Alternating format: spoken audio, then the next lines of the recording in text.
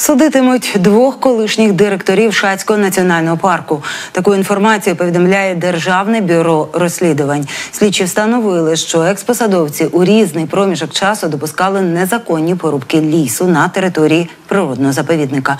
Нині їм загрожує до п'яти років за ґратами. Встановлено, що посадовці нацпарку підписали лісорубні квитки без встановлених лімітів, не перевіривши наявність спецдозволів.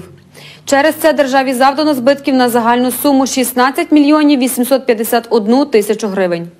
Водночас у ході розслідування збитків відшкодовано. Таким чином, одному екс-директору, який заподіяв збитків на понад 7 мільйонів 345 тисяч гривень, та іншому екс-посадовцю, який заподіяв збитки на понад 9 мільйонів 505 тисяч гривень, повідомлено про підозру за статтею службової недбалості, що спричинила тяжкі наслідки.